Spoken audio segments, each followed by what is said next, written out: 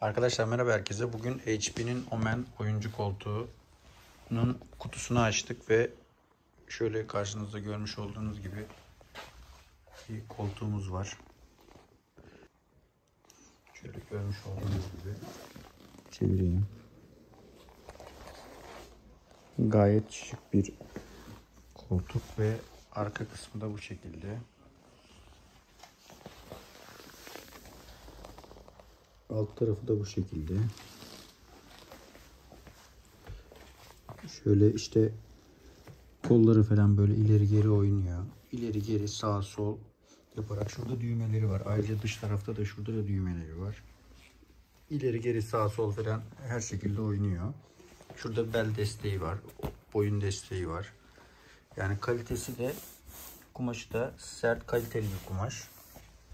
Şu, şu kısımdan da arkaya öne arka kısım yatabiliyor. Şöyle komple.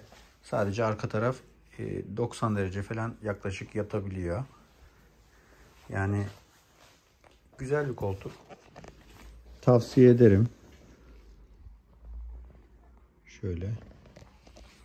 Ayakları da demir e, ve ayak tekerlekleri de sağlam gözüküyor. Şöyle görmüş olduğunuz gibi. Deri, deriyi de anlayabilmeniz açısından yakından çekiyorum.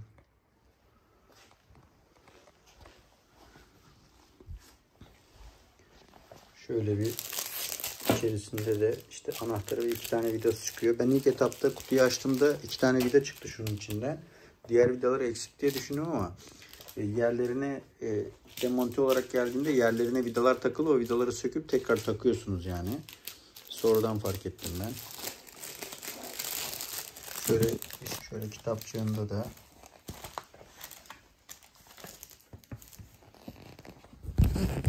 şöyle göstereyim nelerin olduğu ve nasıl takılacağını gösteriyor zaten. Şöyle görmüş olduğunuz gibi nasıl montaj yapmanız gerektiğini anlatıyor.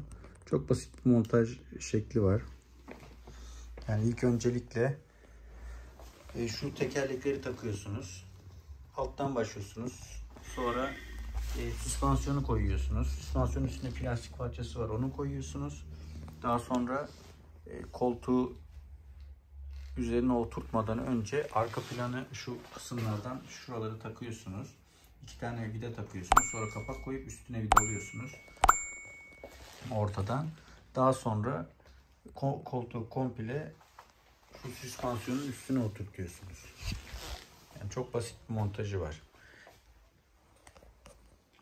Evet arkadaşlar. Lütfen kanalıma abone olup bildirim zilini açmayı unutmayın. Bir sonraki videomuzda görüşmek üzere.